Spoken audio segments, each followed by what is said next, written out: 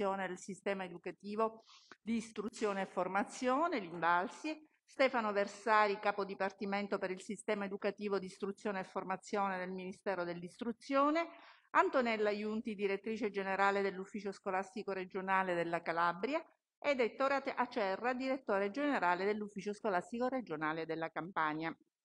Avverto che la pubblicità dei lavori sarà assicurata anche attraverso la trasmissione sulla web TV della Camera dei Deputati. Saluto e ringrazio i nostri auditi per essere intervenuti e saluto anche i colleghi, sia quelli presenti che quelli che sono collegati da remoto. Ricordo che dopo l'intervento dei nostri ospiti darò la parola ai colleghi che intendano porre domande o svolgere osservazioni.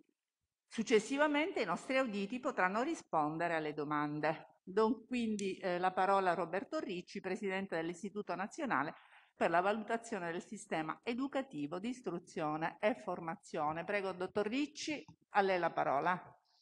Mi sente? Grazie, buonasera. Sì, perfettamente. Ok, perfetto, grazie. Mi, mi, sentiate anche voi. Buonasera a tutte e a tutti. Grazie agli onorevoli deputati per questa, eh, per questa opportunità. Il, mh, mm,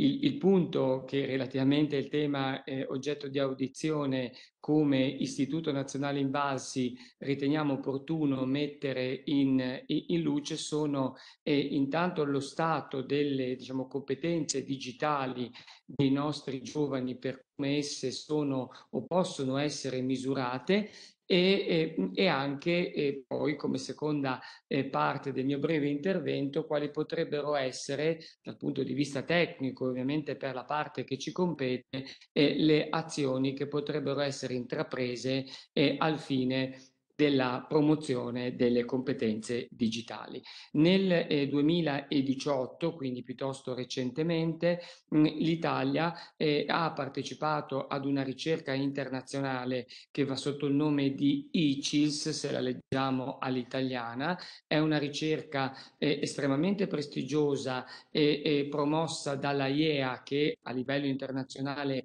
è il soggetto più accreditato per la rilevazione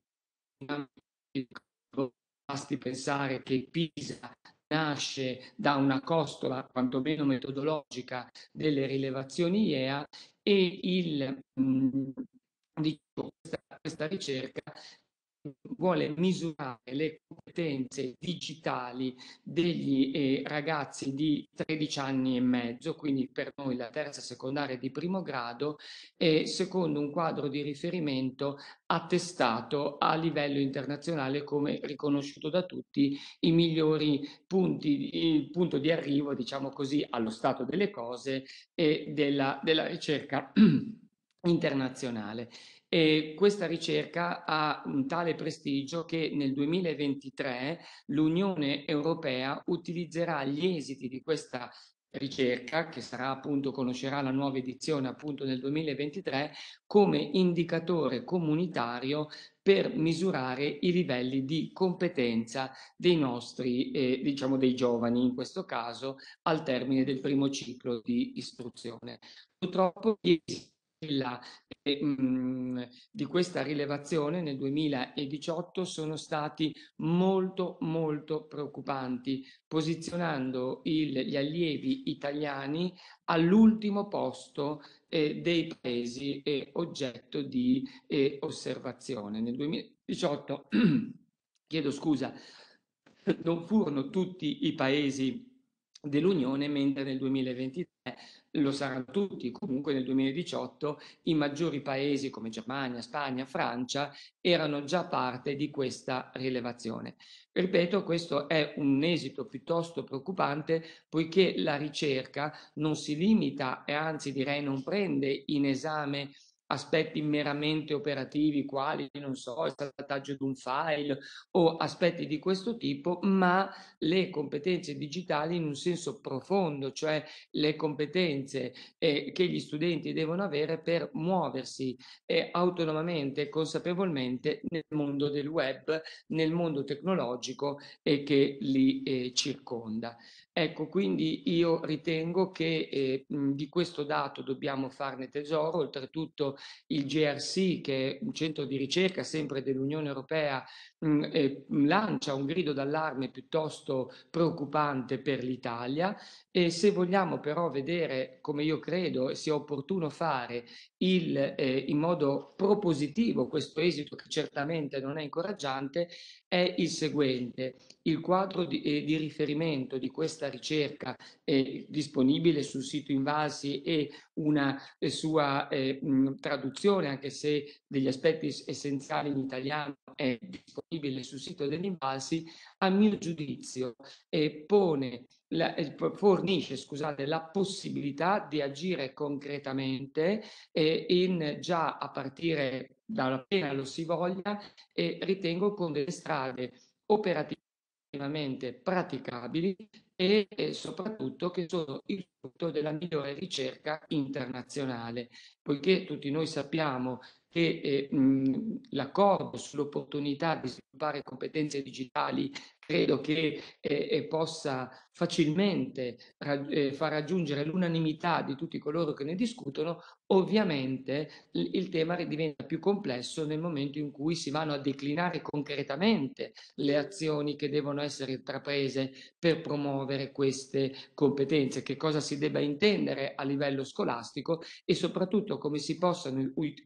aiutare i docenti, le scuole in generale, a iniziare o a potenziare questo percorso. Ecco, io credo che la grande potenzialità del quadro di riferimento di questa ricerca sia la sua spendibilità operativa guidata da una solidissima ricerca scientifica e mm, possa essere di grande, eh, di grande aiuto. Viceversa, e l'edizione del 2018 ce l'ha detto in modo molto molto chiaro, il, eh, il, come posso dire, lo svantaggio dei nostri giovani eh, è veramente preoccupante anche perché esso va a mh, purtroppo a rafforzare differenze già esistenti nel paese. E quindi se di fronte a risultati tutt'altro che incoraggianti di tutti i ragazzi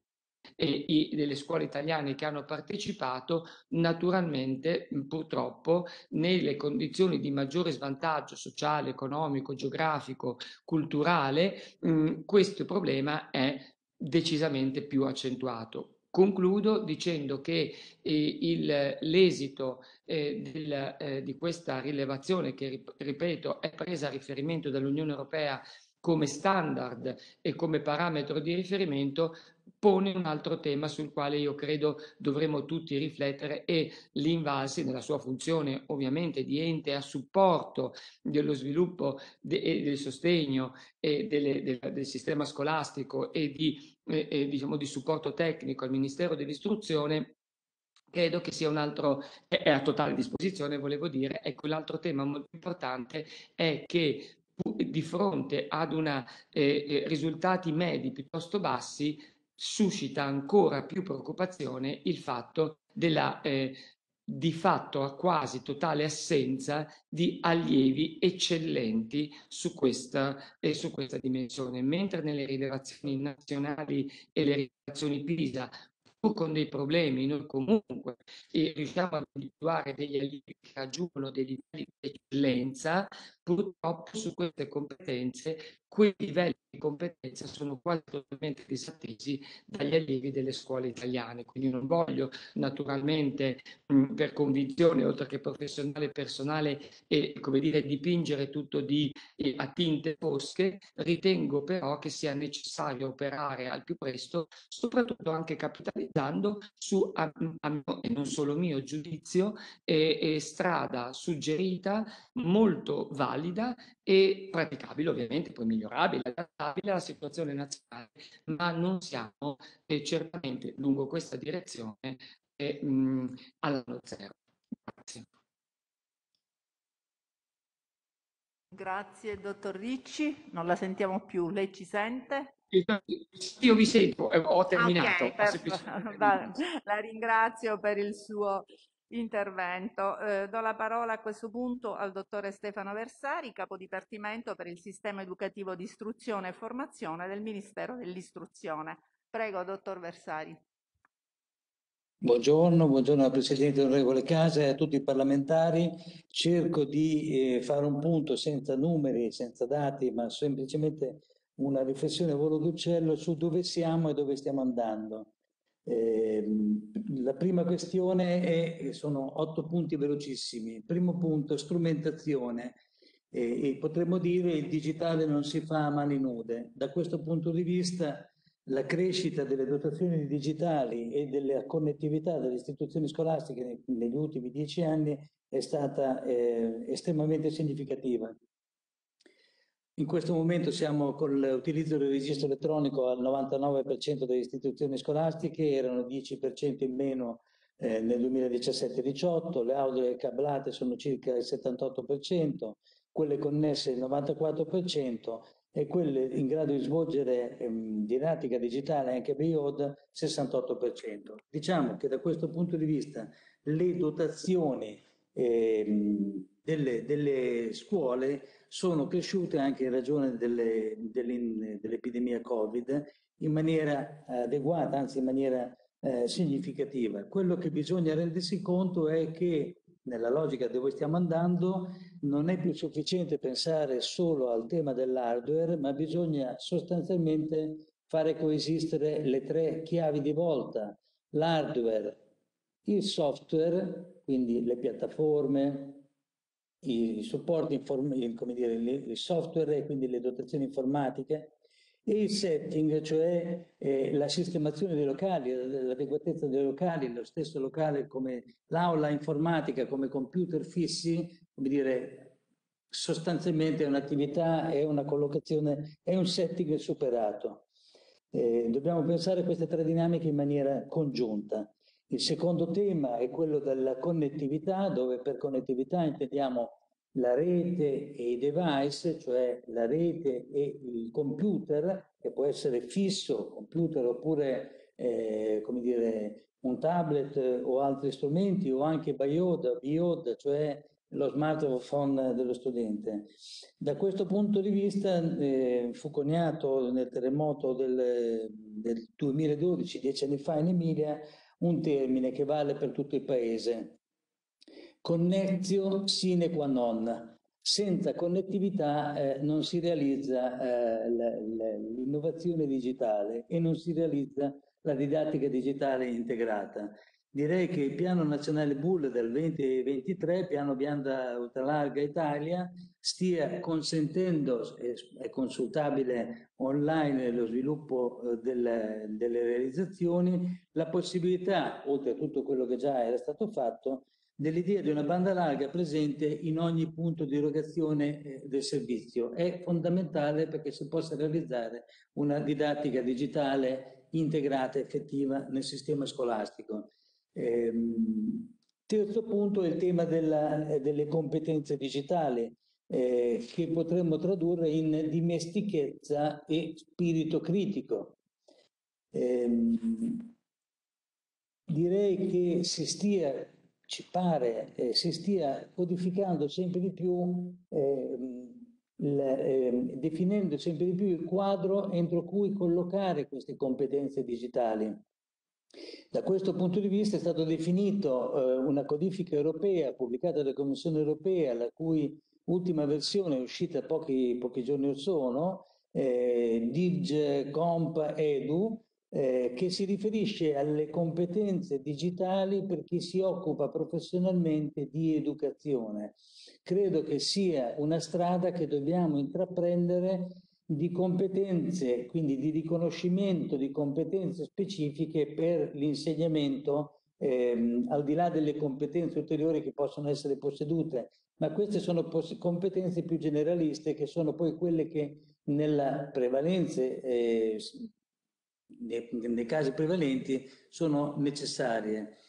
e dobbiamo al contempo, e si sta andando in questa direzione, si sta realizzando l'integrazione tra competenze digitali e altre competenze non cognitive per arrivare all'idea di un curriculum del XXI secolo. Sono strade, vi ripeto, già in percorso, in itinere, in parte codificate, in parte no, ma comunque in corso di eh, svolgimento.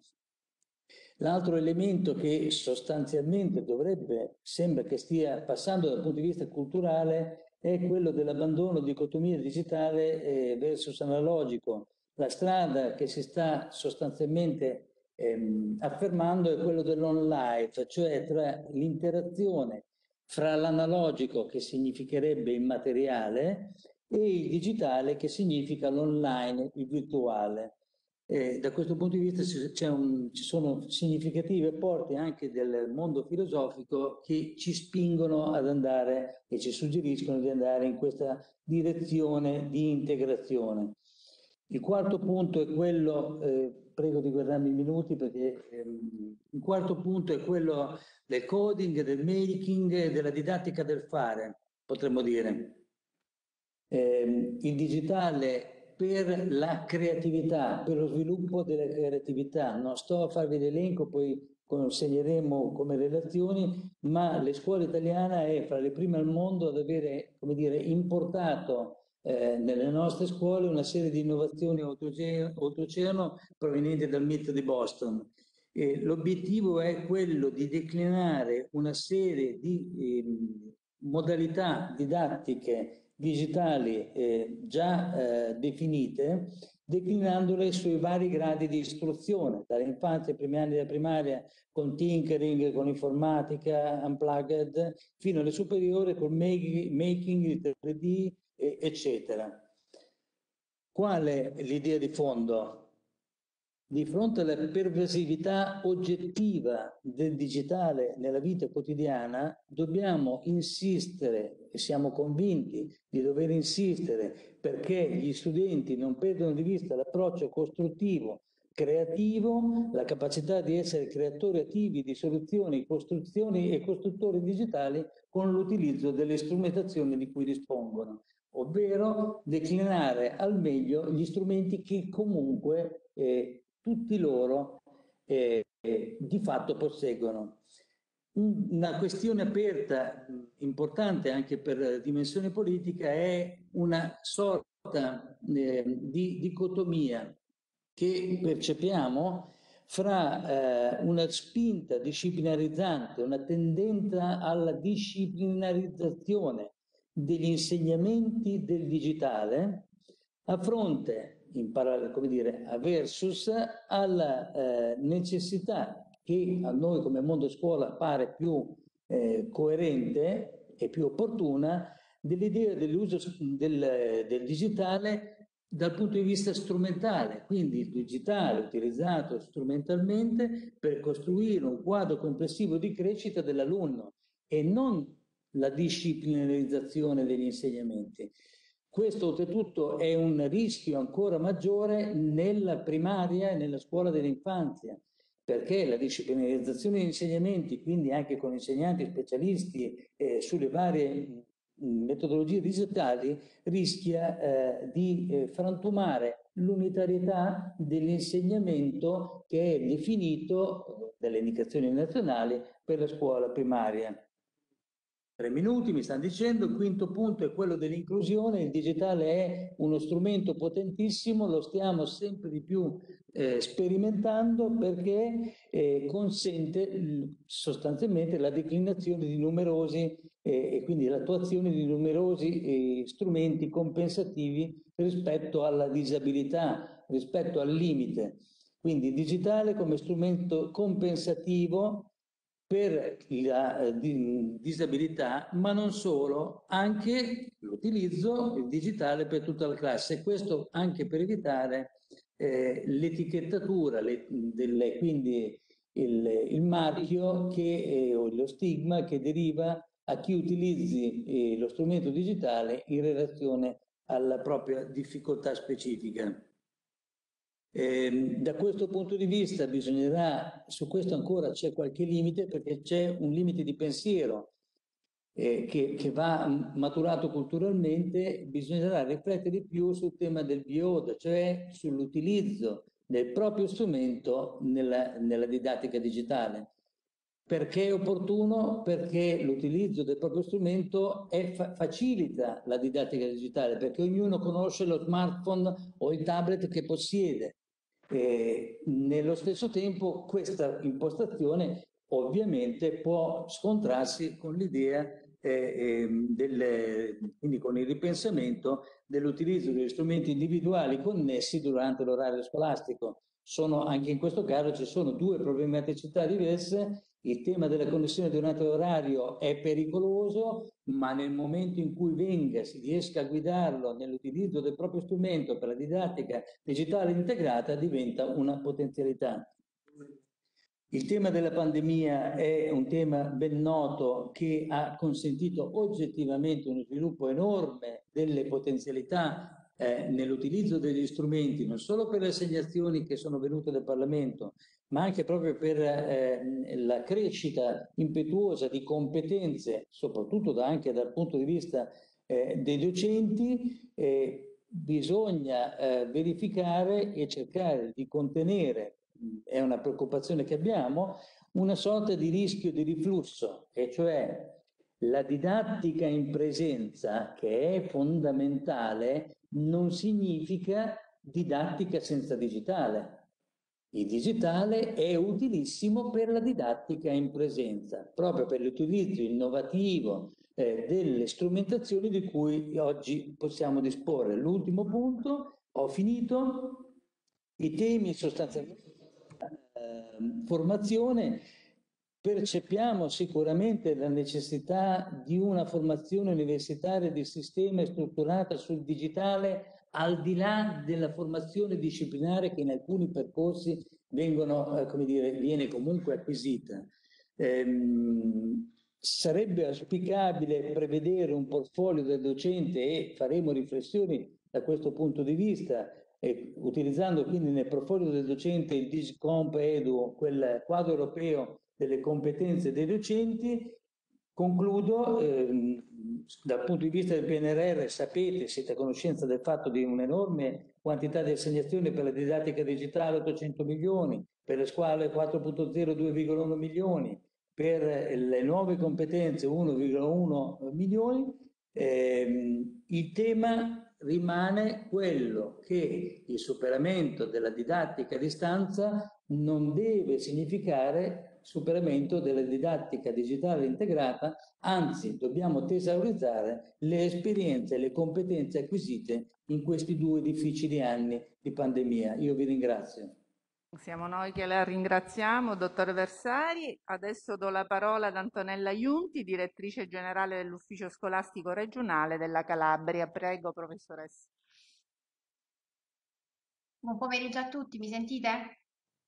Perfettamente. Grazie mille. Innanzitutto ringrazio per l'invito e saluto ovviamente lei, Presidente, e tutti gli onorevoli deputati presenti e Soprattutto ringrazio per aver coinvolto ovviamente la Calabria, anche vista quindi l'attenzione nell'ambito dell'indagine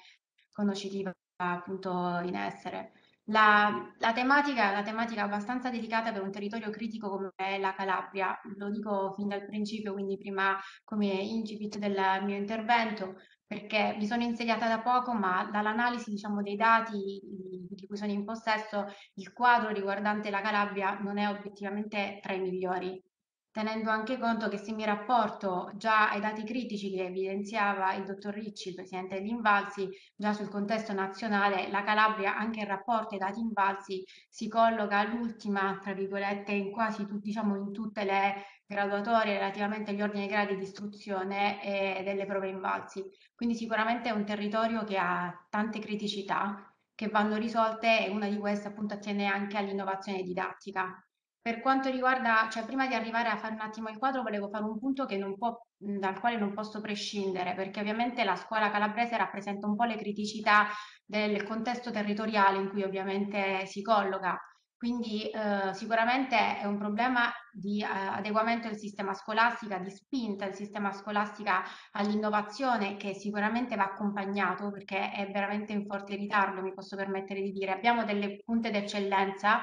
ma rappresentano rispetto al totale delle scuole calabresi, che sono 360,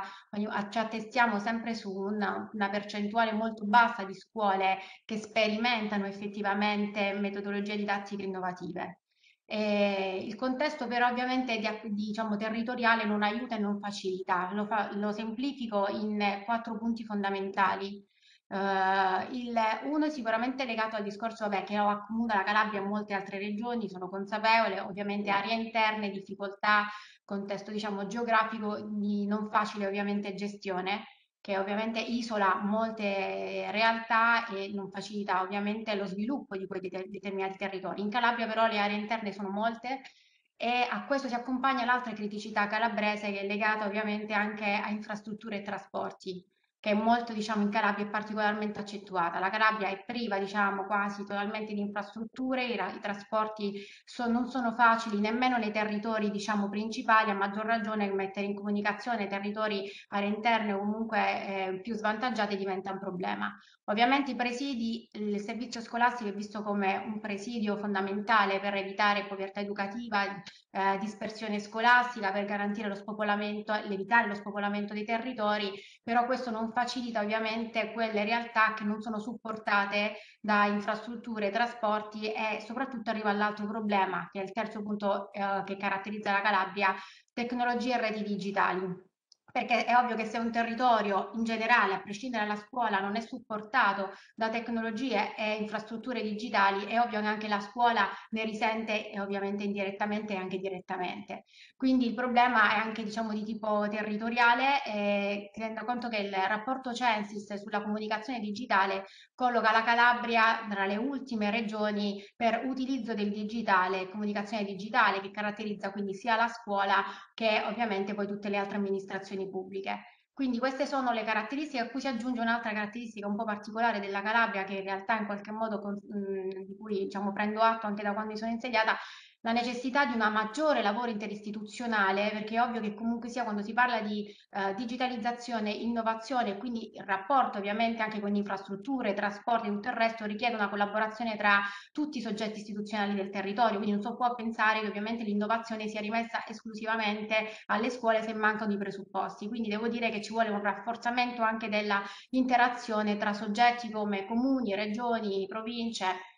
poi caratterizzando anche da molti comuni anche importanti, in Calabria sono commissariati, quindi questo è un altro degli aspetti anche diventa anche difficile la gestione. Lo dico come quadro generale, che in qualche modo non può, dal quale non posso prescindere per far comprendere poi le difficoltà anche attuative ovviamente della innovazione digitale, il che non esclude ovviamente che la scuola debba farsi parte attiva, anzi forse la scuola può essere anche vista al contrario come uno strumento di impulso positivo ovviamente per lo sviluppo del territorio e su questo ovviamente dovremo lavorare. Però non le nego Presidente che da fare c'è molto perché eh, le scuole fanno ma vanno accompagnate, questi presupposti non facilitano ovviamente il tutto e poi un altro dei problemi fondamentali è eh, l'approccio culturale al cambiamento. Uh, abbiamo parlato di diciamo, uh, innovazione didattica, abbiamo parlato anche di innovazione ovviamente digitale. Diciamo che eh, se eh, faccio un passaggio pre-pandemia e post-pandemia, ante 2000, fino al 2019, diciamo che per fare capire che effettivamente il periodo pandemico ha portato almeno in questo un effetto positivo, una spinta anche in Calabria, prima della pandemia diciamo che c'erano su 360 scuole solo un centinaio. Avevano avviato realmente un processo di sviluppo e di, eh, di, di innovazione sia dal punto di vista tecnologico che digitale, eh, tecnologico che diciamo didattico la, eh, con la pandemia la spinta all'adeguamento, almeno tecnologico e digitale, ha fatto sì che ad oggi il 70% delle scuole calabresi, quindi all'incirca 250, hanno sicuramente una, uh, una, una, strumentazione, si sono dotati di strumentazioni, hanno migliorato gli ambienti scolastici, hanno potenziato le reti anche attraverso risorse sia europee che nazionali. Quindi questo sicuramente è stato un grande impulso, però devo dire che all'impulso della appunto, uh, innovazione tecnologica non corrisponde necessariamente l'innovazione didattica, per il discorso che ovviamente eh, ci può essere l'innovazione didattica attraverso l'innovazione tecnologica, ma non è necessariamente che l'innovazione, diciamo, dal punto di vista delle strumentazioni comporta innovazione didattica. L'innovazione didattica comporta un cambiamento culturale che vede come soggetti fondamentali i docenti,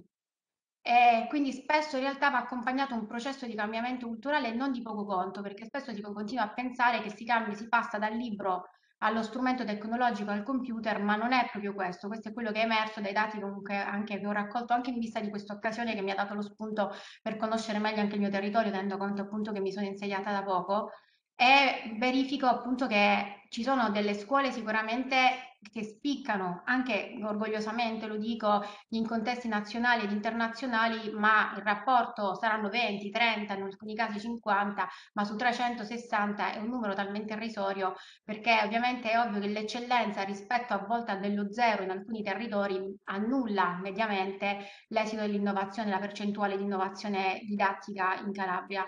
Eh, il, eh, sicuramente gli ambiti di innovazione sono accompagnati anche dalle politiche ministeriali attraverso le equip formative. Devo dire che il Piano Nazionale Scuola Digitale, introdotto nel 2015, ha dato un grandissimo impulso, l'istituzione delle equip formative hanno aiutato, questo sicuramente sì perché sono un grandissimo punto di riferimento. Uh, da settembre, in realtà da quest'anno scolastico, quindi anche con una ripresa, diciamo anche in presenza, le scuole hanno richiesto interventi, diciamo 226 scuole su 360, il che significa che comunque inizia in qualche modo a comprendersi l'importanza di un'innovazione. Si richiedono soprattutto supporto per la la creazione di ambienti digitali, quindi si inizia a comprendere anche l'importanza del setting, come diceva anche il capo dipartimento Versari, che è uno degli elementi fondamentali, perché poi il problema della Calabria è anche l'edilizia scolastica, quindi anche ci sono una serie di problematiche da accompagnare, edilizia, adeguamento dell'edilizia e comunque cambiamento anche diciamo, del, del, del setting scolastico anche in vista di un adeguamento e di un'innovazione.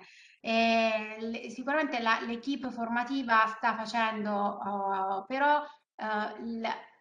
il problema che rilevo, se mi posso permettere, è che spesso però l'innovazione è rimessa all'autonomia scolastica e alla spontanea adesione delle scuole e anche della buona volontà dei docenti di sperimentare, diciamo, eh, metodologie didattiche innovative. Questo secondo me è un passaggio fondamentale perché se l'obiettivo 4 dell'agenda ONU 2030 parla di una istruzione che va garantita in, maniera, in termini di qualità, equità e inclusività, devo dire la verità, se questo è rimesso a un contesto territoriale che è a macchia di leopardo per quanto riguarda la connettività e le strutture, se è rimesso ovviamente alla uh, buona volontà di dirigenti scolastici e docenti che si fanno parte attiva perché non essendoci degli obblighi ma soltanto delle spontanee adesioni all'innovazione è ovvio che è rimesso ovviamente all'adesione alla spontanea diciamo, uh, partecipazione dei docenti. La formazione, al di là del piano diciamo, di formazione nazionale previsto per i docenti neoassunti che sono obbligati alla formazione, il resto ovviamente è tutto spontaneo. Le equip formative sollecitano, le, faccio, le do un dato, Dall'inizio di quest'anno scolastico l'equipe formativa ha formato più di 3.000 docenti, ma in Calabria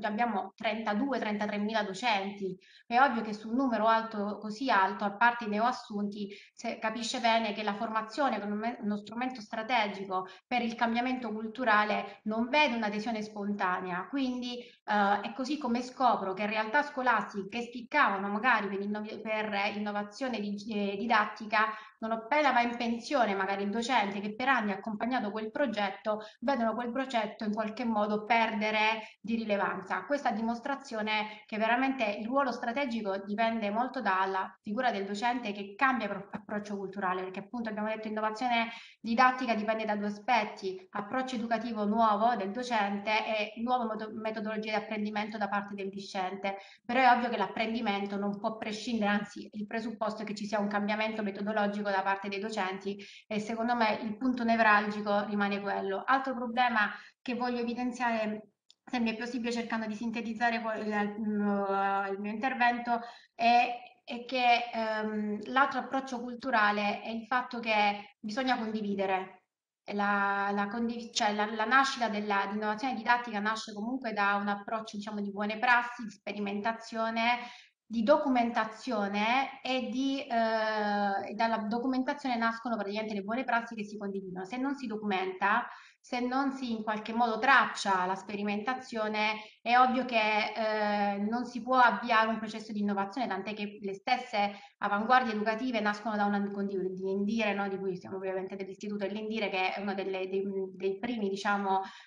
fattori anche che, di promozione dell'innovazione nel mondo scuola e su questo ribadisco in Calabria solo 73 scuole aderiscono al movimento di avanguardie educative su 360 per far capire quindi il contesto ovviamente eh, abbastanza ristretto, la platea ristretta delle scuole aderenti. Ma quello che ho scoperto è che per esempio anche per la, molte progettualità, tra lo stesso mh, premio scuola digitale connesso al piano nazionale scuole digitale istituito dal Ministero, per poter, per poter partecipare un'adesione bassissima delle scuole regionali. Tipo l'ultimo premio ha visto su 360 scuole 66 scuole, un dato molto basso. Ho cercato di capire il perché di questo elemento, ovviamente un numero molto basso, è quello che emerge tra le tante criticità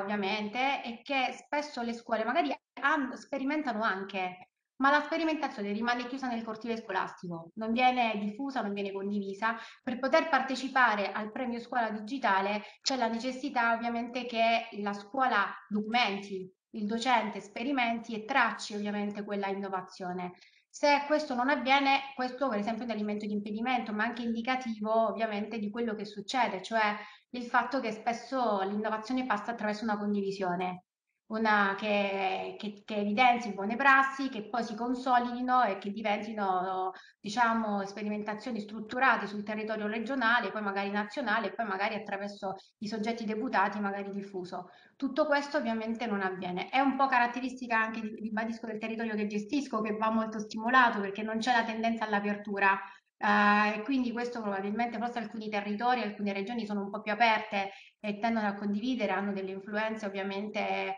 all'apertura e alla condivisione. La Calabria sicuramente non si caratterizza per un'apertura particolare e va molto spinta nella, sicuramente nella progettualità e va accompagnata, ma il quadro che ne emerge allo Stato è, è sicuramente un quadro non, non roseo e soprattutto, le ripeto, anche se mi baso sui dati invalsi, ora vedremo quelli del 2022, ma temo che non ci sarà un cambiamento, se mi posso permettere eh, di anticipare qualcosa, penso perché non vedo grandi cambiamenti, ho avuto anche la fortuna di confrontarmi con il dottor Ricci qualche tempo fa, eh, quindi la, la, necessità anche di un accompagnamento alla Calabria per cercare di come cambiare ovviamente l'approccio anche all'innovazione, al cambiamento, ovviamente alla necessità di adeguare l'apprendimento dei ragazzi alle, alle richieste della società. Però la,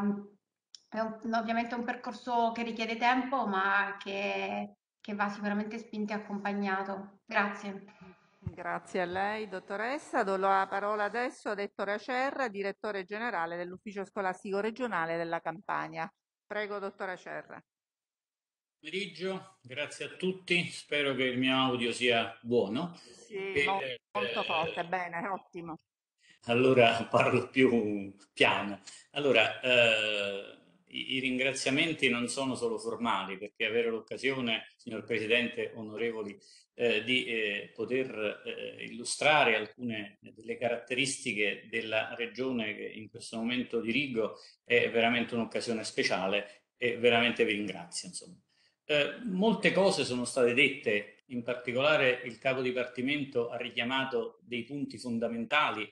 e quindi non, su alcuni di questi eh, non tornerò. Eh, sappiamo tutti che la Campania, che è la seconda regione d'Italia in quanto al numero di scuole e di numero di eh, alunni e studenti, è una regione estremamente complessa. È una regione caratterizzata, come sapete, da un'area metropolitana eh, molto forte, che è l'area metropolitana di Napoli, che tra l'altro eh, è eh, oggetto di una particolare attenzione eh, la settimana scorsa è stato firmato anche dal nostro ministro il patto educativo per, per l'area metropolitana di Napoli e quindi sostanzialmente è un territorio caratterizzato da uh, una forte complessità ma anche da grande diversificazione fra uh, diverse aree perché eh, abbiamo anche in Campania molte aree interne, abbiamo delle grosse differenze anche nei risultati eh, in termini di competenze eh, per cui praticamente è una regione che, eh, ma questo già lo sapete, che ha un forte, eh, una forte caratterizzazione e eh, la, eh, il termine a macchia di leopardo che ha usato anche la collega Iunti, credo che anche nella Campania, anzi per alcuni aspetti più di altre regioni, si attagli perfettamente. riprendo alcune cose che sono state dette per, per specificarle e contestualizzarle. Ehm, molto eh, correttamente il capo dipartimento parlava di tre fattori, hardware, software e setting per quanto riguarda eh, l'innovazione digitale. Sono, mi posso permettere, assolutamente d'accordo con lui e voglio eh, sottolineare il fatto che eh, mentre gli investimenti degli ultimi anni hanno consentito per l'hardware e il software di fare dei grossi passi avanti, passi avanti quantitativi, per il setting ancora non ci siamo, nel senso che eh, il, la Campania, come molte altre regioni, ha grossissimi problemi di edilizia scolastica, ha grossi problemi di trasformare eh, gli ambienti di apprendimento, eh, ha grossi problemi nel eh, insomma, seguire il processo eh, di innovazione anche dal punto di vista proprio delle, dei laboratori come sono tradizionalmente eh, concepiti. Quindi dal punto di vista della, uh, del, degli ambienti di apprendimento veramente c'è molto da fare. Uh, una considerazione anche sull'organizzazione della rete scolastica della campagna che in questo momento eh, insomma, mh, parrebbe un fattore eh, magari estraneo all'argomento di cui stiamo parlando, ma eh, vorrei sottolineare che l'estrema dispersione e frammentazione dei punti di erogazione del servizio eh, sul territorio regionale, se da una parte consente di avvicinare l'offerta formativa alle comunità anche più distanti, da un'altra parte eh, provoca anche delle oggettive difficoltà nell'omogeneizzare la qualità e la quantità eh, delle, eh, delle, eh, delle, strutture, delle, delle, infrastrutture del software. Quindi su questo insieme all'ente regione si sta facendo un ragionamento perché negli ultimi anni il piano di eh, razionalizzazione della rete scolastica è rimasto abbastanza fermo e su questo bisogna fare un ragionamento anche perché bisogna, perché bisogna capire quali siano, quali siano le scelte più adatte per i territori. Se ragionare per poli da rafforzare molto anche dal punto di vista delle infrastrutture digitali oppure se conservare l'attuale eh, distribuzione eh, sul territorio. Eh, ripeto, non voglio tornare su cose che già ehm, eh, sono state dette, e, eh, però voglio sottolineare alcuni aspetti che possono essere interessanti per quanto riguarda la, ehm, la realtà campana.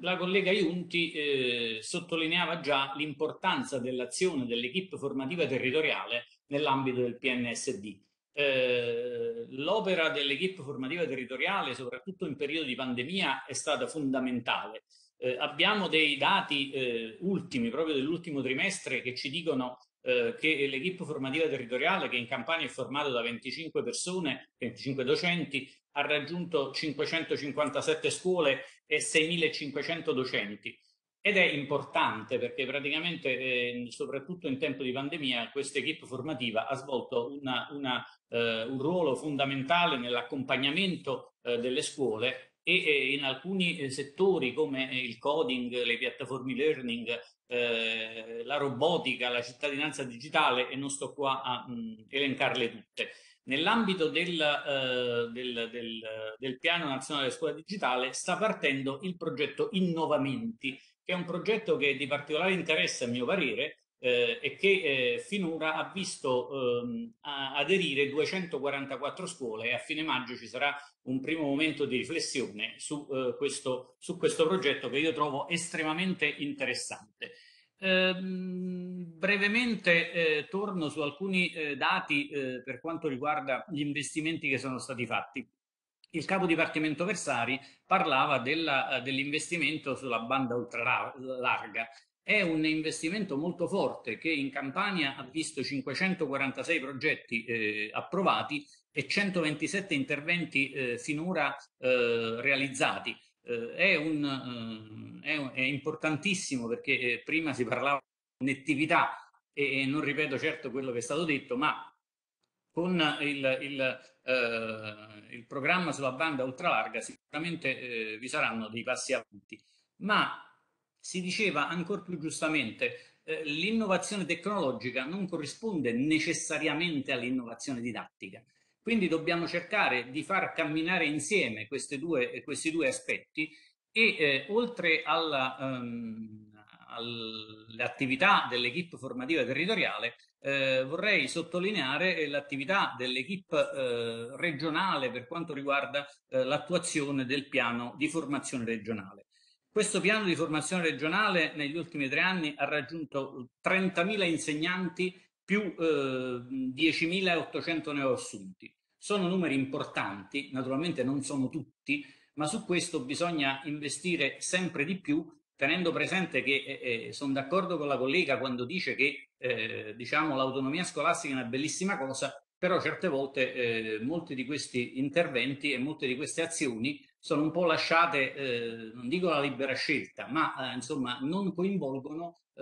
tutte le comunità scolastiche. E alle volte c'è anche una difficoltà del, di, di, ottenere una ricaduta della formazione eh, di alcuni insegnanti su tutta la comunità scolastica. Però ritengo che eh, i eh, processi di accompagnamento, di formazione e di accompagnamento siano molto, eh, molto eh, interessanti. E volevo segnalare che l'equipe formativa ehm,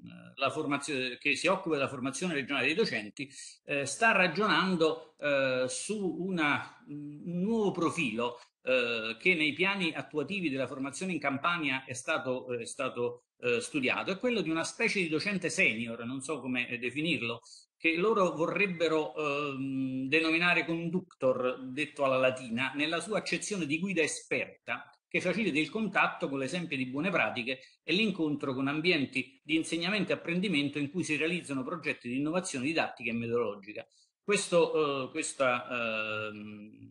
questa, esperienza è una delle esperienze che può essere considerata eh, più interessante. Ehm, anch'io, come la collega, ho fatto un, eh, così un'indagine, un, un, ripasso di quelli che sono alcuni numeri eh, di, eh, riguardanti iniziative che possono essere particolarmente significative. Eh, per esempio su avanguardie educative, eh, che è eh, comunque un'iniziativa importante, vi sono in Campania 181 scuole che adottano il manifesto delle avanguardie educative. Non sono tantissime, sono circa il 20%, ma è una percentuale importante. Eh, segnalo anche eh, la diffusione molto, eh, in Campania molto forte eh, delle, delle, scuole che adottano il progetto, i progetti e-twinning. Eh, progetti e-twinning che nel periodo della pandemia sono stati un'occasione veramente ehm, preziosa per poter eh, conservare i rapporti e rafforzare anche i rapporti e, e soprattutto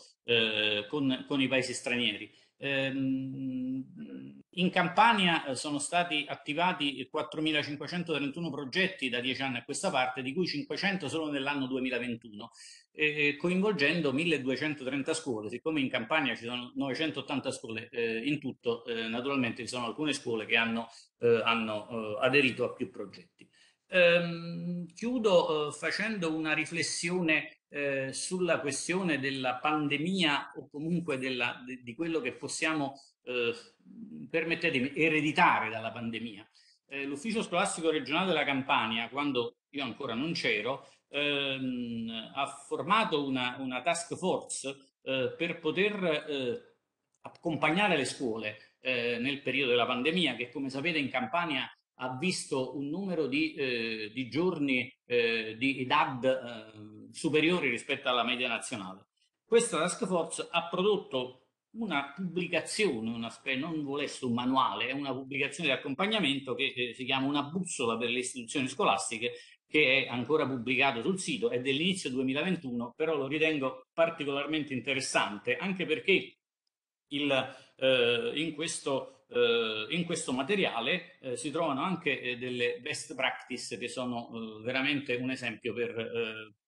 per tutte le scuole. Eh, questo è il quadro al momento della campagna, è un quadro che sicuramente mh, mm, non è un quadro semplice, anzi io sono anche qui d'accordo con la collega penso che anche le rilevazioni standardizzate nazionali di quest'anno non è che ci porteranno a dei grossi miglioramenti, anzi, eh, speriamo bene, insomma. E, eh, però io credo che ci sia una grossa attenzione eh, del, del, insomma, del, sistema scuola eh, e, de, del, non solo del sistema scuola, ma, ma, di tutte le istituzioni e il patto educativo per l'area metropolitana ne è un esempio. Quindi, insomma, credo che dobbiamo, eh, siamo, abbiamo il dovere di pensare positivo e di fare tutto il possibile per eh,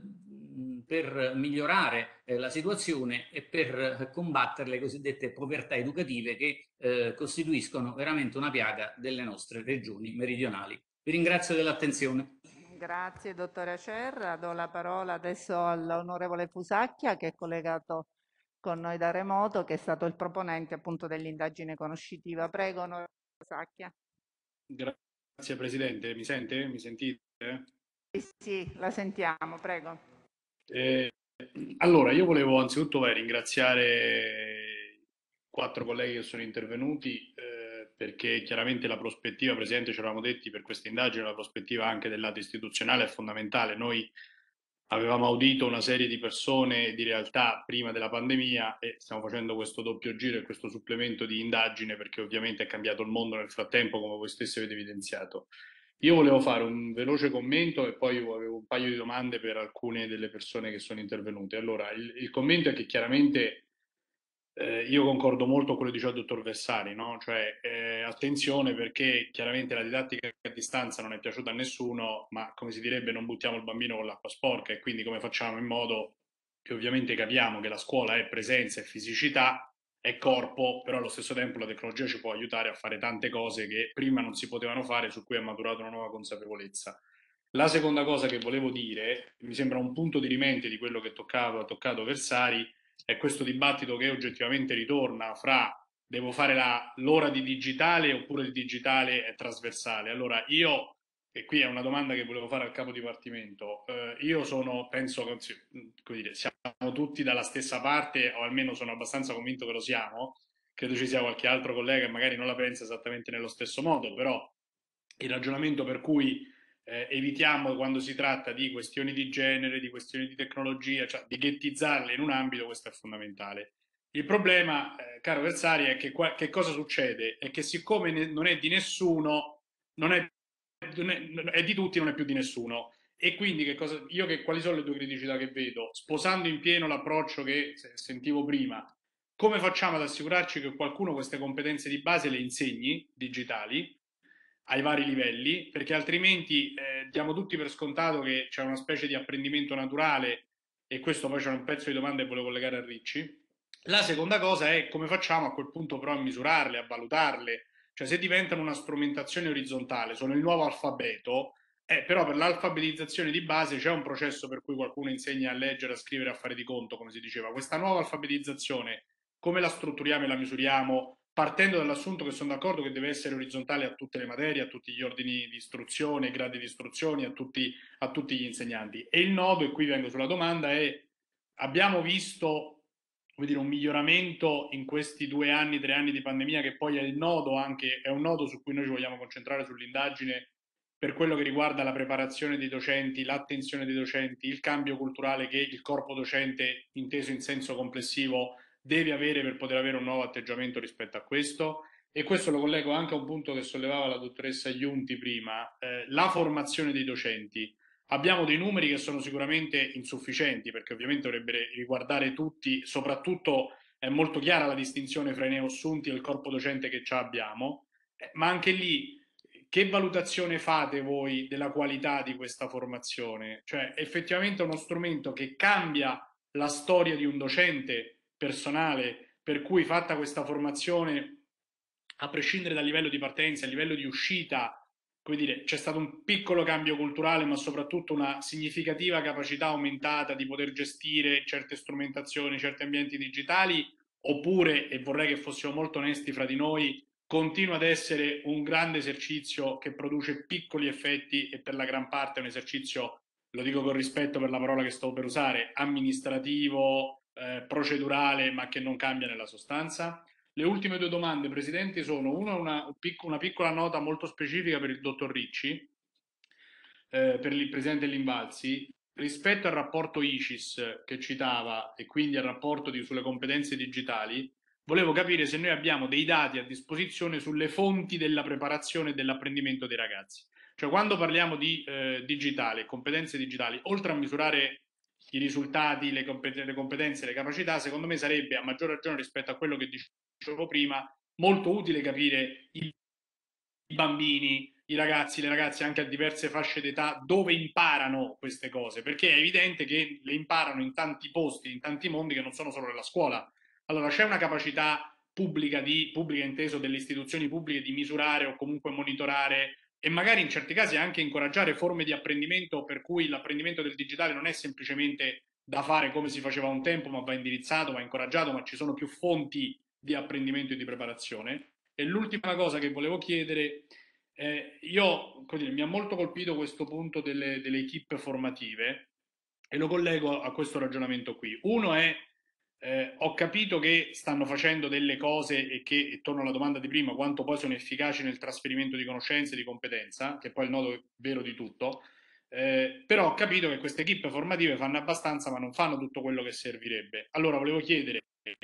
alla filiera ministeriale, capo dipartimento, i due direttori degli USR, è una questione di risorse scarse, cioè ne abbiamo poche di queste equip formative e quindi servirebbe metterne di più in campo in termini di risorse umane, capacità, preparazione, oppure c'è un blocco strutturale di altra natura che non ha a che vedere con quanti sono e quello che fanno, per cui si fa fatica a procedere ad un passo più veloce.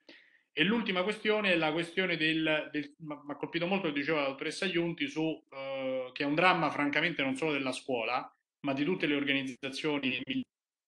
mediamente complesse italiane e non solo italiane, la memoria che si perde quando uno va in pensione,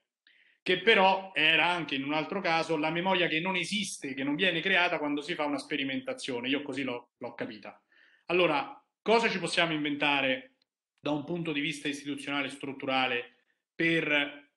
ovviare almeno in parte a un problema che è un problema gigantesco di tutto il paese. Eh? Le aziende perdono pensionati d'oro, come dire, d'oro nel senso con grandi conoscenze dell'azienda che se ne vanno con le loro conoscenze. Però questo problema a un certo punto andrà affrontato. Allora la domanda è, c'è margine per ragionare, questo forse lo chiedo più al capo dipartimento, per qualche forma di sperimentazione? Perché oggi la tecnologia ce l'abbiamo tutta non solo per fare le nostre audizioni a distanza o le lezioni in classe a distanza, ma abbiamo fior fiori di startup, fior fiori di tecnologia, fior fiori di designer, fior fiori di competenze creative di vario tipo, per cui forse a fronte della, della, del problema, come affrontiamo il fatto che chi va in pensione nella scuola si perde quel capitale che spesso è decisivo per, la, per, per quella scuola o sperimentazioni interessanti vengono fatte e non restano, possibile che il Ministero, il governo, il Ministero con lo spinta del Parlamento non riesce a fare qualche sperimentazione su questo e a capire come preserviamo la memoria e facciamo questo trasferimento di memoria? Che cosa ci possiamo inventare su questo? Grazie Presidente.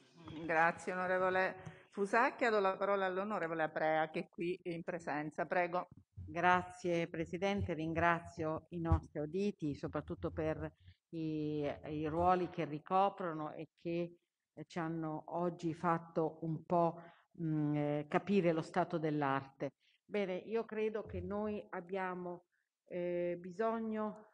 eh, di condividere una consapevolezza. La scuola italiana non educa al futuro, non tutta. E siamo nel 2022 siccome sappiamo che i ragazzi che eh, sono già nelle nostre classi lasceranno la scuola secondaria superiore nel 2035 e quando poi andranno all'università saranno, eh, eh, si troveranno a vivere nel 2040, quindi quando dovranno poi ehm, eh, eh, entrare nel mercato del lavoro, noi dobbiamo eh, accettare l'idea che oggi in questo tempo dobbiamo trasformare tutta la nostra scuola in una scuola del futuro, perché non possiamo sapere come si vivrà eh, tra 13 anni, 16 anni, ma certo sappiamo che la tecnologia non abbandonerà né questo mondo, né le nostre società, né la vita di tutti i giorni e men che mai quella di chi lavorerà. Quindi la scuola non può più aspettare. E devo essere chiara, eh, mi spiace ancora sentir parlare di sperimentazione, mi spiace ancora sentir parlare di chi avanti e di chi indietro,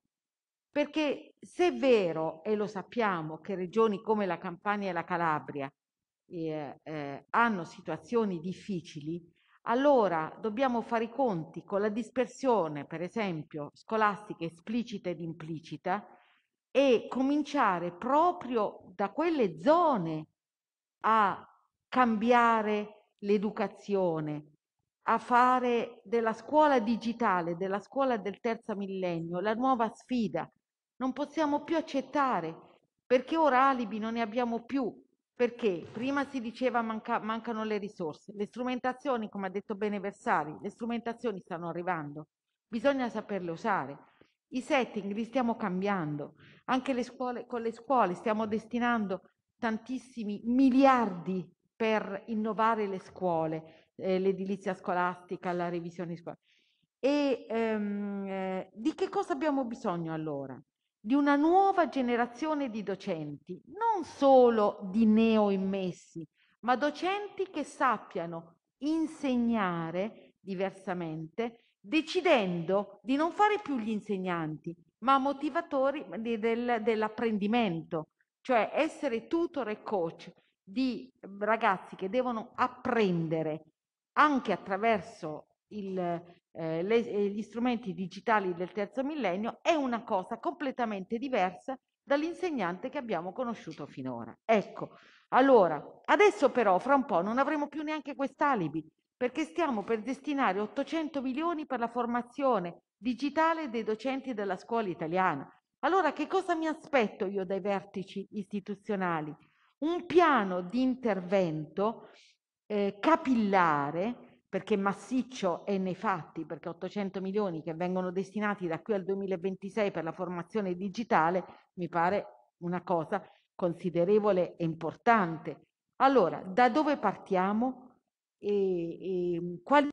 sono quelle zone che più di altre hanno bisogno di cambiare eh, eh, modalità di eh, apprendimento, di insegnamento-apprendimento e soprattutto come facciamo a tenere sotto controllo quei fenomeni da contrastare come la dispersione scolastica implicita ed esplicita, soprattutto quella implicita, perché noi sappiamo che in alcune regioni anche ragazzi che hanno studiato alla fine eh, eh, non sanno leggere e scrivere, non eh, fanno a volte, non comprendono un testo in lingua italiana, eccetera, eccetera. Adesso non, sto, non voglio prendere il posto del dottor Ricci che saluto, ma allora e che ringrazio per quello che ci ha detto. Lui ci ha detto chiaramente siamo all'ultimo posto e quindi tra i paesi OXE il digital divide è pazzesco. Allora, ecco, quello che vorrei dire, insomma, basta sperimentazione e concludo voglio sapere se c'è questo piano. Eh, in quanto tempo noi riusciremo a formare tutti i docenti della scuola italiana, atteso che stanno per arrivare 800 milioni di euro per questa formazione digitale, ce la faremo a rendere obbligatorio, come dice il documento di PNRR, lo studio del coding dall'anno scolastico 2023-2024 a partire, non dico dalla scuola dell'infanzia, ma almeno dalla scuola primaria. Eh, ce la faremo a eh, eh rendere eh, la scuola più multidisciplinare e meno disciplinare e, e, fare in modo che anche la valutazione non sia più incentrata solo su, lo, ha accennato un po', eh, l'ha accennato in un passaggio il dottor Versari, non più solo centrata sulle conoscenze, ma sulle competenze anche su quelle non cognitive, cioè formare la persona per il, il, e quindi tutte quelle capacità problem solving, capacità di ascolto, capacità di lavorare in team,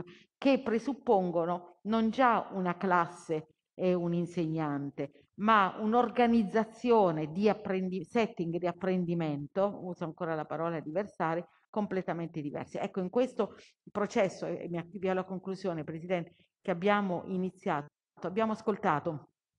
sia esperienze molto avanzate che eh, istituzioni fondazioni eh, che hanno già lavorato per introdurre questi metodi. Abbiamo ascoltato anche eh, Indire piuttosto che eh, di, dirigenti delle scuole innovative, però questo è stato, le, cioè per vent'anni abbiamo sperimentato, oggi non abbiamo più tempo di scegliere chi mandare avanti. Oggi la scuola italiana tutta, ecco allora,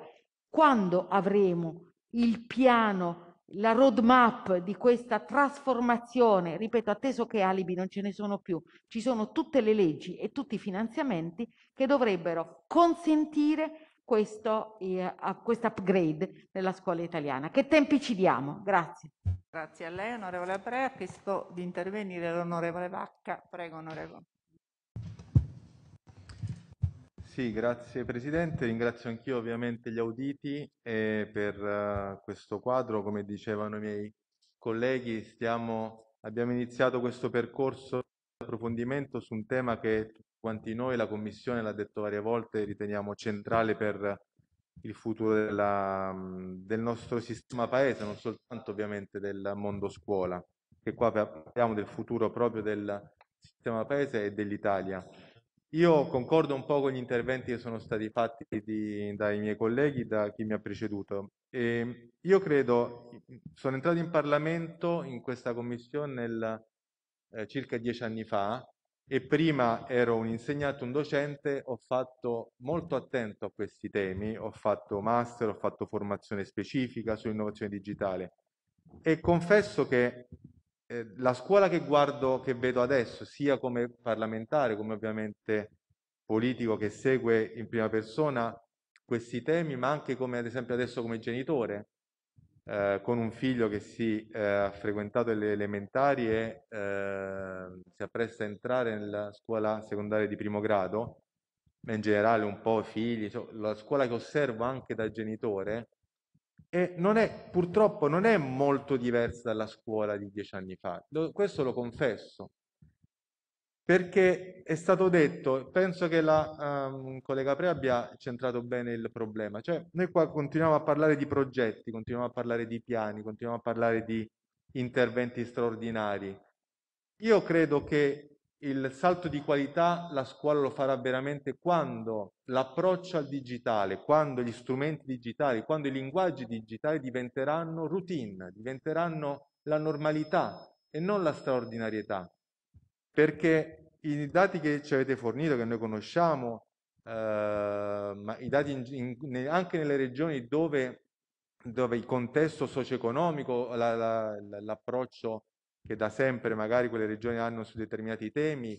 eh, facilita l'introduzione, ha facilitato in passato e quindi sono un po' più avanti per quanto riguarda sperimentazioni, innovazione, utilizzo delle nuove tecnologie. Ecco, io bisogna iniziare a, a, non parlare più di sperimentazione, la sperimentazione su qualcosa che noi non è su quello di cui stiamo parlando oggi, la sperimentazione già hanno acquisito certe eh, metodologie e un certo approccio alla eh, scuola, alla, alla formazione, la fanno già, stanno facendo su altro. Noi qua parliamo dell'acquisizione, diciamoci la verità, noi oggi docenti, gli strumenti che hanno i primi strumenti che hanno per entrare in classe sono ancora il libro e il quaderno. Tutto quello che viene, non tutti ovviamente, ci sono dei docenti particolarmente preparati e particolarmente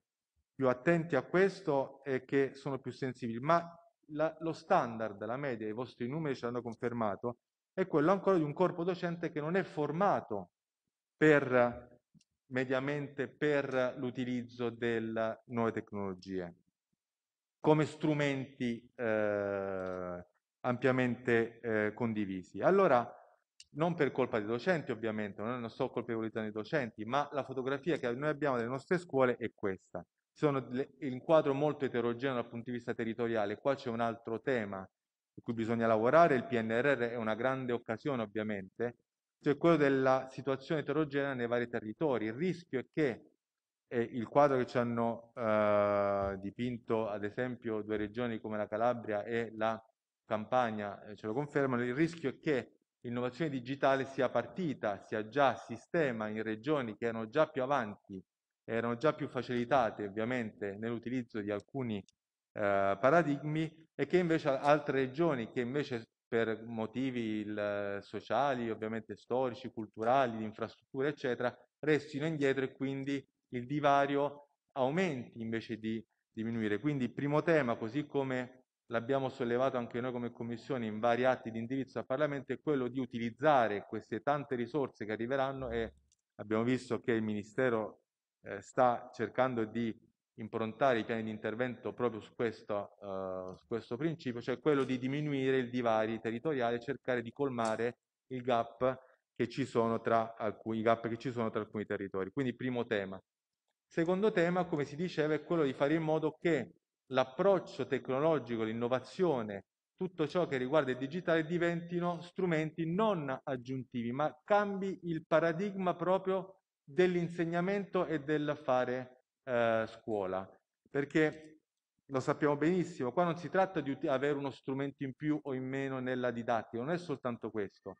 Eh, conoscere utilizzare il linguaggio digitale vuol dire stravolgere il paradigma di insegnamento, stravolgere i paradigma cognitivi, stravolgere, cambiare completamente il modo in cui ci si approccia ovviamente l'utilizzo dei linguaggi con cui si comunica con i ragazzi e con, con cui si fa scuola. Quindi vuol dire fare una scuola diversa rispetto a quello in cui tradizionalmente eh, la scuola italiana è abituata. Quindi noi dobbiamo agire sulla formazione iniziale innanzitutto dei docenti, di chi entrerà nelle nostre scuole. È, inf- è importantissimo questo. Le risorse PNRR dovranno essere ovviamente impiegate benissimo anche per questo e fare un grandissimo piano di formazione di, del corpo docente, ovviamente, eh, del corpo docente in servizio, perché il, quello che è stato descritto, che lo sappiamo benissimo, che spesso le, i progetti migliori, le scuole che sono più attente la, lo fanno proprio perché ci sono dei docenti che negli anni hanno una, avuto una sensibilità maggiore, hanno acquisito competenze, passioni, eccetera, e quindi sono riusciti a mettere al servizio di, delle scuole del, la propria passione e la propria, eh, la propria competenza. Ma quando poi questi docenti non ci sono più perché si tra- non ci sono, vengono trasferiti o perché vanno in pensione, la scuola rischia di perdere quella eh, impronta. Bene, dobbiamo fare in modo che invece non sia soltanto sulle spalle di un singolo docente o di un gruppo di docenti l'innovazione, l'utilizzo degli strumenti digitali, ma che diventi un patrimonio di tutto il corpo docente, di tutta la comunità scuola. Questa è la sfida e questo lo potremo avere soltanto quando eh, appunto diventerà patrimonio di tutti e quando avremo un piano di formazione eh, per tutto il corpo docente sia in ingresso che in itinere. Ehm, eh, ma questo credo, e concludo con, con quest'ultima osservazione, che ehm, tocchi anche un altro argomento, un'altra questione, cioè quello del ripensamento della eh, del, anche dei piani di studio e della, ehm, eh, dei curricula all'interno delle nostre scuole, perché, non, ripeto, non è soltanto aggiungere strumenti didattici il, eh, alle, ai nostri docenti inserire nuovi strumenti didattici nelle nostre scuole, imparare a utilizzare gli strumenti. Non è, didattica digitale non è soltanto quello. Didattica digitale è ripensare proprio l'insegnamento e quindi credo che sia importante anche avviare una riflessione sui cicli scolastici. Ovviamente qua siamo a fine legislatura e come Parlamento potremmo fare ben poco perché queste sono riflessioni eh, di, che devo, devono avere più anni, ma credo che sia importante riflettere e avviare una serie di riflessioni sui cicli delle nostre scuole, sulle materie, sugli insegnamenti, sulle discipline, sui saperi, noi siamo ancora sostanzialmente, nonostante gli sforzi sono stati fatti negli ultimi anni, fermi alla suddivisione dei saperi della scuola eh, tradizionale italiana. Ecco, anche una riflessione su quello credo che sia, che non si tratta ovviamente, non si riduca a introdurre materie aggiuntive, ma che sia un ripensamento proprio dell'insegnamento dei saperi all'interno delle nostre scuole e anche lì probabilmente quando avverrà eh, quello si arriverà a un, probabilmente una consapevolezza maggiore anche nell'utilizzo dei linguaggi digitali e degli strumenti digitali. Grazie onorevole Vacca. Ha chiesto di intervenire l'onorevole Melicchio. Prego onorevole. Grazie Presidente, eh, un ringraziamento anche ai soggetti auditi per eh, le loro relazioni. Eh, guardate, io personalmente ritengo che dopo la pandemia che ci ha messo di fronte una serie di problematiche eh, importanti, eh, ritengo che questa debba essere anche la ragione per eh, tornare non al mondo di prima, ma a un mondo migliore, a una scuola migliore in questo caso, proprio in virtù di quello che eh, la, la situazione sanitaria ci ha ci ha chiesto, gli sforzi che ci ha chiesto a tutto, a tutto il sistema paese. E, e quindi, mh, mm, come dire, eh, possiamo farlo. Durante la pandemia abbiamo visto sicuramente i limiti eh, degli strumenti eh, tecnologici digitali del nostro paese, abbiamo visto che non è possibile sostituirli a quelli tradizionali perché la DAD sicuramente ci ha permesso di portare avanti la formazione dei nostri, dei nostri studenti, ma eh, certamente ha permesso anche una formazione eh, possibilmente peggiore rispetto a quella eh, garantita dai, dai, sistemi tradizionali. Allora sicuramente eh, se noi vogliamo tornare ad una scuola migliore di quella eh, precedente alla pandemia, questo deve continuare, eh, gli strumenti come la DAD devono continuare ad esistere, ma a sostegno, a supporto e, e certamente non, eh, non sostitutivi. E, ehm, la dottoressa Iunti ha detto un qualcosa di eh, estremamente importante, cioè che eh, la, l'innovazione didattica non è solo innovazione digitale e, e quindi non può valere in, in entrambe, in entrambe le, le, direzioni. Noi per anni abbiamo parlato di eh, innovazione della didattica anche con eh, strumenti che di tecnologico avevano poco, come l'inversione delle classi o eh, le classi 2.0, 4.0, che vedevano dire, no, le, le, sedute innovative al centro di questo e i pedagogisti ce ne hanno parlato per oltre un decennio, poi purtroppo quello, quando c'è stata l'occasione di innovare eh, le nostre scuole da quel punto di vista è diventato un terreno di scontro politico, eh, ahimè. E di certo eh, sono, sono, sono sicuro che eh, hanno contribuito e contribuirà anche quello al, al miglioramento delle nostre, delle nostre, scuole. Da calabrese poi eh, voglio concludere eh, dicendo che le problematiche sicuramente ci sono nella mia, nella mia regione, ma esistono eh, esistono tanti buoni, tanti buoni esempi, esistono anche diverse, diverse eccellenze e quelle problematiche ecco, non devono essere una scusa per, per non fare, per eh, come dire, trincerarsi dietro un, un, cattivo risultato perché sappiamo che, eh, e ne abbiamo gli esempi, chi vuole, chi vuole fare fa e fa, eh, fa buona, buona didattica, eh, sicuramente gli organi dello Stato, il Ministero, il Parlamento devono garantire un, un, controllo su chi non fa e anche magari pensare a degli strumenti normativi che permettono eh, di, che permettano di incentivare eh, a fare di più, a mettersi sullo stesso piano dei loro, dei loro stessi corregionali che comunque rispettano degli standard, eh, degli standard di tutto il paese. Chiudo eh, con due note positive perché noi eh, abbiamo eh, è in corso al Senato la, la, prima lettura per la conversione in legge di un, di un decreto legge importante sul, sul reclutamento eh, scolastico e proprio anche in riferimento a quelle problematiche sulla formazione dei docenti. Eh, sicuramente è uno strumento il decreto, quel, quel, decreto legge che si può migliorare, si deve migliorare durante la fase, la fase di conversione, però eh, ecco, eh, ha il merito secondo me di pensare ad una eh, formazione continua dei docenti che è incentivante, non penalizzante, ma incentivante. Quindi, secondo me quella è una intuizione, sulla quale certamente lavorare per, per, migliorarla, ma che può dare, può dare grossi frutti proprio in virtù del fatto che abbiamo esempi, eh, come ci è stato riportato, di eh, personale docente che fa la formazione eh, anche al di sotto del 10% di tutta la popolazione. Così come la grande eh, occasione che abbiamo dei tanti investimenti che eh, ci sono in questo momento, mai come, mai come prima d'ora, perché il digital divide è un problema che esiste, c'è,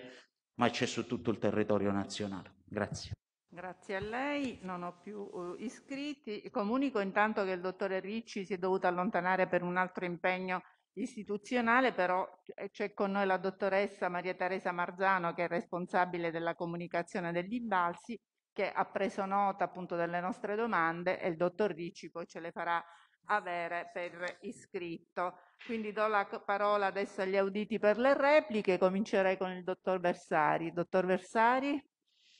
una breve replica, vi prego di stare un po' nei tempi. Grazie.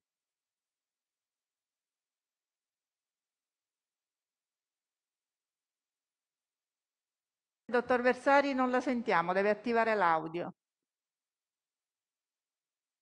Mi sentite? Adesso sì, Ah, prego. perché avevo la spia blu che doveva dire audio attivato, ma non era attivato. Eh, mi scuso. Eh, ringrazio la Presidente e, e i parlamentari intervenuti, l'onorevole Fusacchi, Aprea, Vacca e Melicchio. Provo a, a- a rispondere in maniera estemporanea, quindi eh, come sempre accade ci si ricorda delle ultime, ma mi sono appuntato le prime domande. Ehm, direi che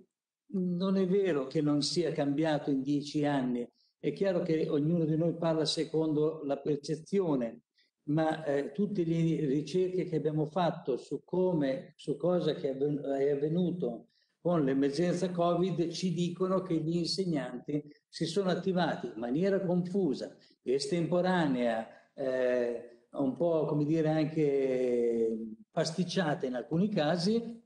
ma dalla sera alla mattina. Eh, la scuola italiana, anche gli altri paesi, ma io parlo della scuola italiana, è oggettivamente stato in grado di partire di fronte a una situazione di confusione totale e nei mesi successivi ha migliorato notevolmente e progressivamente le competenze nell'utilizzo delle eh,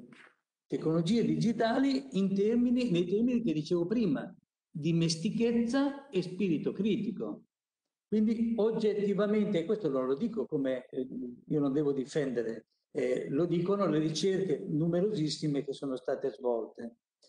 Un'altra delle questioni che veniva posta, e qui stiamo facendo delle riflessioni, quindi è un confronto e, e vi ringrazio perché è un arricchimento per noi, per me, per i colleghi. Un'altra riflessione che si è posta, mi sembra l'onorevole Vacca, eh, ne- e si connette anche a quella dell'onorevole Fusacchia, l'onorevole Vacca dice, eh, giustamente osserva, è necessario cambi il paradigma, non si tratta di aggiungere, eh, come dire, di sovrapposizioni di materie, quindi al, non materie discipline, di nuovi strumenti che aggiungo alla scuola che rimane così come era prima. Deve cambiare il paradigma.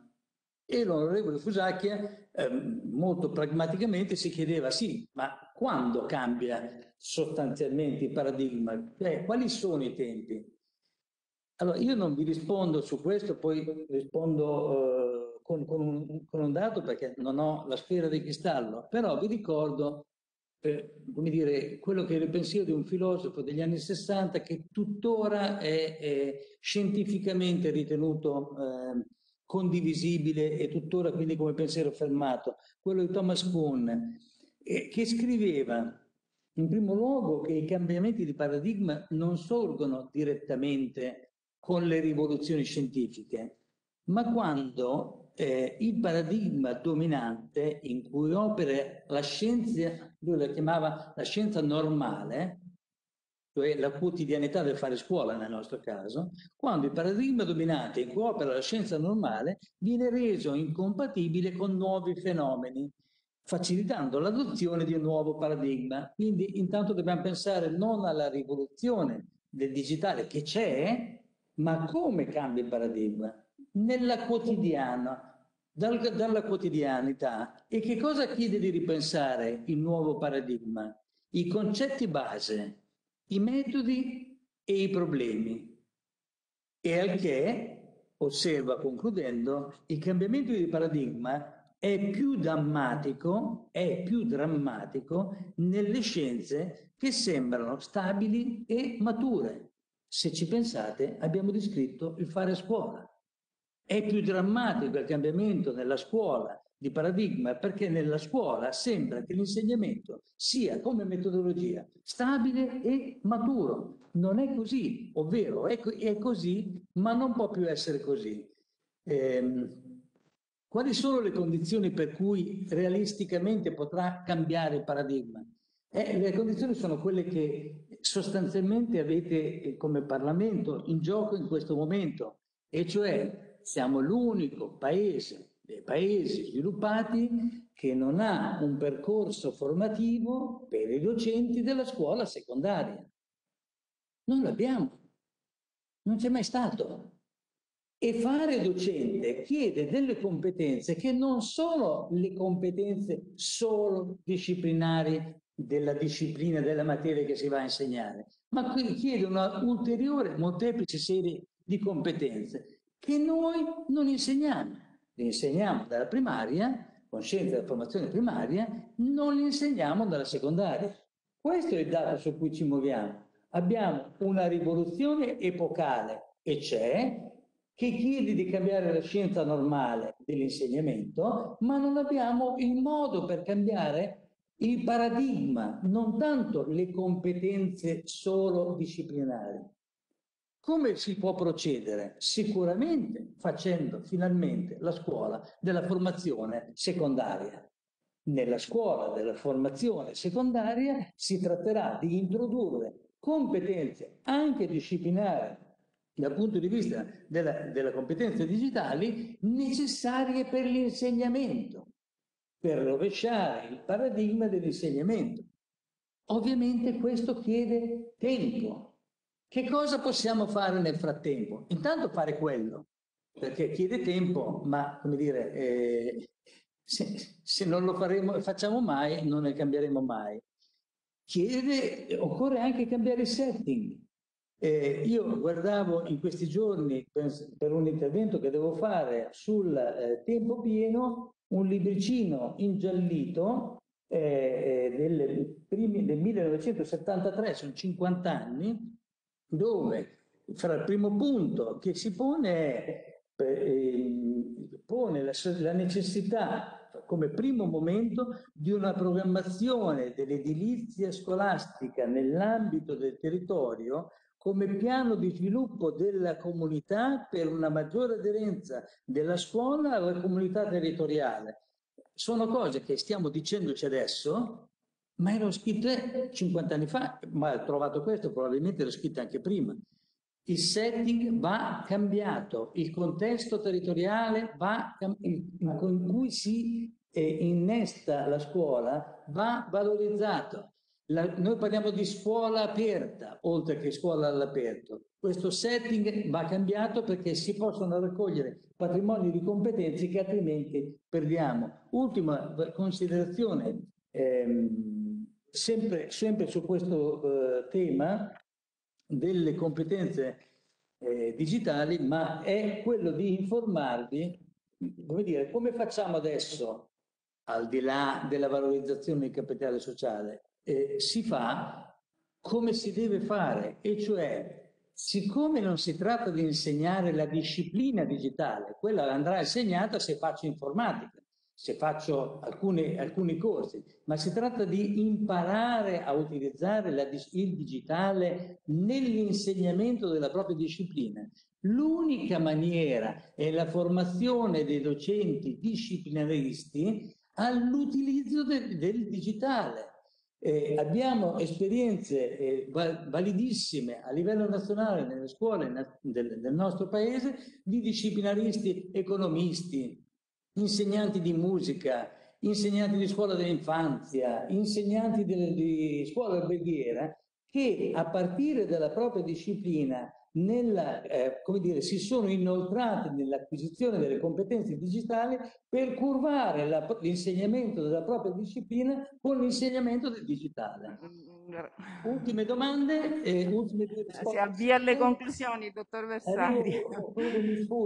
Come misureremo queste competenze? Io credo che potremmo misurarle solo con la crescita degli apprendimenti. Che cosa sarà fatto con il PNRR? E la domanda che chiedeva l'onorevole Europea, su questo bisogna che la domanda venga posta all'unità di missione appositamente eh, eh, destinata a gestire le risorse del PNRR per il Ministero dell'Istruzione. Vi ringrazio. Grazie, dottor Versari, grazie. Dottoressa Iunti, a lei una breve replica, prego.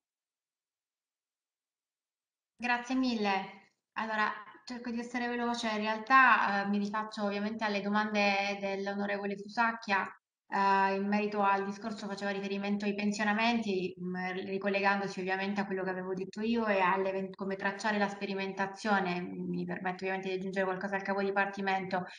La, il problema dell'appensionamento nasce dal discorso della volontarietà, quindi se si supera il discorso della uh, sperimentazione, lo so che continuo a parlare di sperimentazione come molti eh, hanno evidenziato, compreso l'onorevole Aprea, ma in realtà, appunto, tornando al discorso che non c'è una, uh, diciamo, strutturazione, diciamo, della, uh, delle metodologie didattiche innovative eh, in modo appunto costante e stabile all'interno delle istituzioni scolastiche, ancora tutto quello che si fa rimane come sperimentazione e quindi tutto rimesso alla volontarietà e pertanto se va via il docente il concetto di, di pensione è collegato al discorso della volontarietà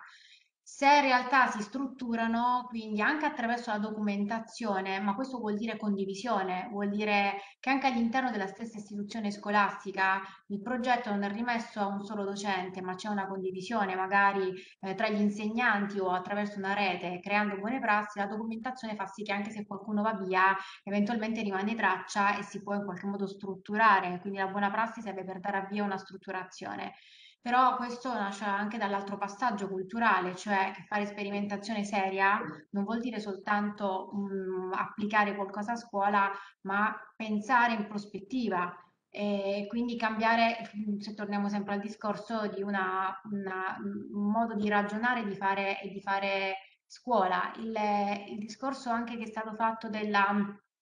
uh, della disciplinarizzazione del digitale, mi rifaccio anche alle parole del capo dipartimento, è un po' quel tornare al discorso della, di continuare a pensare in modo anacronistico, cioè il fatto che si disciplinarizzi tutto vuol dire, era quello che dicevo anche prima, cioè si pensa che la sostituzione del libro con lo strumento informatico o digitale in realtà cambi eh, la metodologia, in realtà non è quello, è proprio un approccio completamente diverso, quindi in realtà io torno sul discorso che comunque probabilmente il, il vero cambiamento nasce nell'accompagnamento uh, diciamo, uh, rispetto al corpo docente e a una formazione che indubbiamente non sia, però anche quella va resa innovativa, secondo me, anche la formazione col personale docente,